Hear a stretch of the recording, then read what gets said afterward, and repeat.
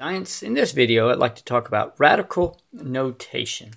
Okay, to begin with, uh, the symbol for radical, which means you're going to take a root of a number, is this symbol right here. Many times you think of this symbol as a square root only uh, because the root index is 2. Many times you will see this just written like this, and that is a radical symbol, and you just assume it's square root. Technically, a 2 would be there.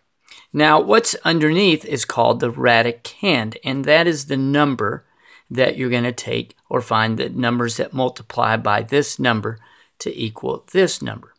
For example, you have this radical notation. You have the radical symbol, you have the root index, which is 3, and then this is the radicand.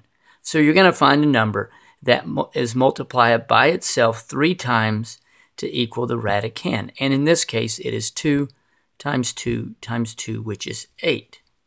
Another example, here's the radical symbol. You have a root index of 3, and the radicand is 27, so you're going to find which number multiplied by itself 3 times equals 27. And it just so happens that 3 times 3 times 3 is equal to 27. And here is another example. You have a root index of 4, the radical symbol, and the radicand is 16. So I need to find a number that multiplied by itself 4 times that equals 16. And that is 2 times 2 times 2 times 2, and that equals to 16. So in summary, this tells you that it's a radical, which means you're going to find a root of it. This number inside here is called the root index, and that is how many times the number multiplied by itself will equal the radicand. I hope that helps with radical notation.